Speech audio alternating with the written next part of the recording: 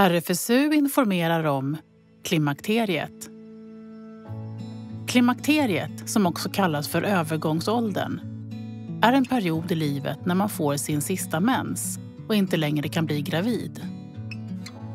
Det varierar men brukar inträffa när man är mellan 45 till 55 år och kan pågå ett halvår till flera år. En del märker ingenting eller mår bättre än innan.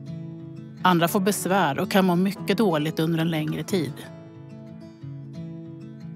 Sedan födseln innehåller äggstockarna en stor mängd ägganlag. En del av dem mognar till ägg och kan befruktas. När de inte befruktas får man mens. När äggen tar slut kommer menopausen, som är den sista mensen. Klimakteriet börjar något eller några år innan menopausen. Ett vanligt tecken, men som inte gäller alla, är att mensen blir oregelbunden. Under klimakteriet minskar hormonet östrogen för att sedan vara lågt resten av livet. När det minskar kan man få besvär. Kraftiga svettningar, värmevallningar och frossa är vanligt. Det är också vanligare att man känner sig kissnödig ofta och att få problem med urinläckage vid ansträngning, till exempel när man hostar, nyser, skrattar eller hoppar. Knipövningar kan hjälpa till att stärka muskulaturen och minska besvären.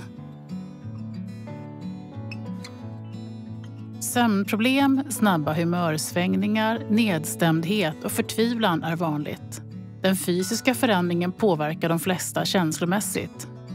Om man är nedstämd och orkeslös en längre tid kallas det för depression och då är det viktigt att söka hjälp på till exempel en vårdcentral. Under klimakteriet blir slemhinnorna i underlivet ömtåligare och torrare. Det kan leda till att det svider och kliar. Det finns produkter som ger fukt åt slidan. Och vid sex kan man använda glidmedel för att öka njutningen och minska risken att det gör ont. Ta hand om underlivet. Tvätta bara de yttre delarna med mild tvål. Mellan blygdläpparna kan du tvätta med oparfumerad olja och ljummet vatten. En gång om dagen räcker. En del känner mindre sexlust på grund av besvären medan den för andra ökar i klimakteriet. Att slippa en eventuell graviditet kan göra att man kan fokusera mer på lust och njutning. Att slippa hålla på med preventivmedel och att bli av med både mens och mensvärk kan också kännas skönt.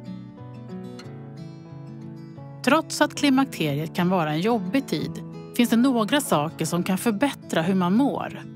Att röra på sig, äta bra mat och sova tillräckligt kan ha en positiv inverkan på måendet.